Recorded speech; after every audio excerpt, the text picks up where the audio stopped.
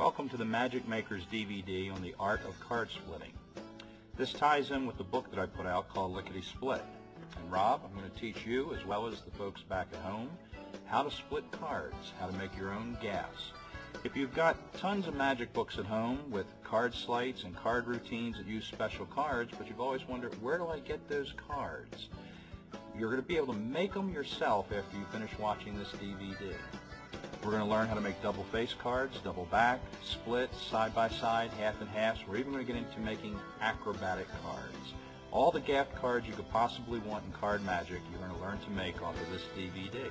I'm going to show you basically what you need to get, and you can assemble it for under $10. Nice. And uh, I'm going to tell you where you can get it. Each playing card consists of a face, a back, and a center. The object in splitting a card is to peel off either the face or the back, depending which you need for the card you're making. We're also going to teach you some easy tricks that you can make up and use with simple to make gaffed cards. We're going to explain to you how to do those items as well.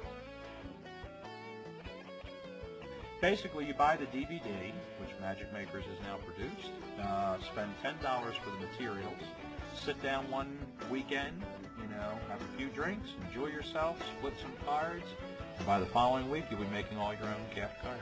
Yeah, I know after learning this party, uh, my imagination's going crazy here. I can make whatever I want. It's inexpensive, it's easy, it's fun.